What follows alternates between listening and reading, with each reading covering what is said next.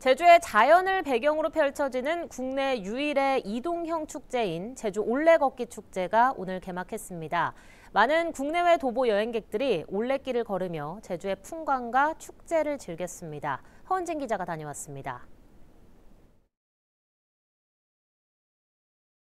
넓은 광장에 올레꾼들이 자리를 가득 채웠습니다. 올해로 14번째로 열리는 명실상부 국내 대표 걷기 축제인 제주 올레 걷기 축제가 걸을 맛 난다를 주제로 개막했습니다. 참가자들은 올레의 상징 간세 조형물 앞에서 기념 사진을 찍거나 개성 있는 복장으로 개막식에 참가해 축제를 즐겼습니다. 그럼 이번에는 좀 독특하게 한번 해보고 싶어서 준비해서 지금 방문하게 됐습니다. 오늘 엄청 좀 춥다 그래서 걱정을 많이 했는데 날씨가 많이 도와줘서 생각보다 날씨도 너무 좋고 그래서 기분도 좋고요. 가을바람이 살랑이는 고즈넉한 밭담길로 참가자들의 발길이 이어집니다. 길을 걷다 잠시 자리를 펴고 앉은 사람들. 그 사이에서 한 참가자의 기타 연주가 시작되자 소박한 올레길이 운치 있는 야외 공연장이 됐습니다. 너무 좋습니다. 작년에도 참가했었는데 올해도 참가해서 영광입니다. 여섯 개 코스를 완주하게 되는데 올레길 완주하려고 몇 년 참가하려고 생각하고 있습니다.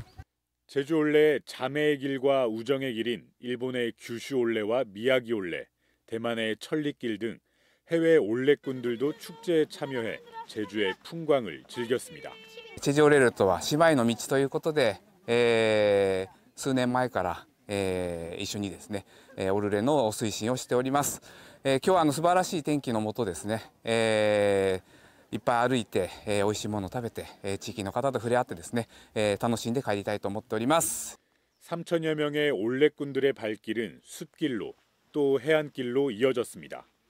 19km가 넘는 첫날 코스가 힘들 법도 하지만 온전한 제주를 느끼고 새로운 추억을 남길 수 있어 참가자들의 표정은 밝기만 합니다.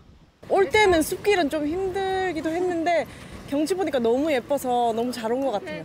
아, 저희는 아기 때문에 좀 걱정했는데 오늘 날씨도 좋아가지고 뭐 무난하게 갈 것 같습니다.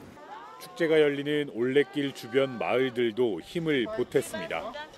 뿔소라와 표고버섯 등 제주의 식재료를 활용한 특색 있는 음식들을 마련해 함께 만들어가는 축제의 의미를 더했습니다.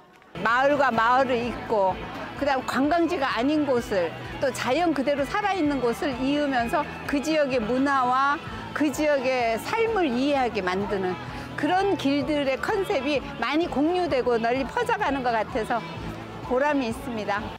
제주 올레 걷기 축제 참가자들은 놀멍, 쉬멍, 걸음멍, 특별한 제주의 가을을 즐겼습니다. KCTV 뉴스 허은진입니다.